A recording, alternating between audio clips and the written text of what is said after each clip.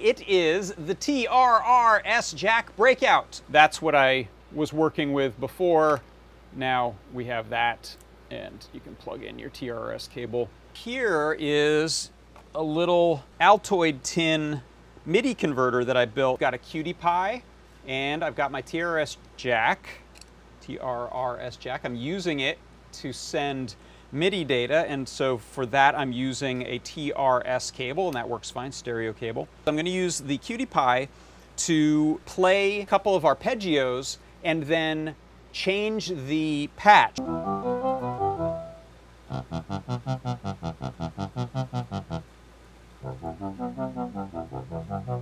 So this is just serial UART data. That is my product pick of the week this week. It is the TRRS Jack Breakout.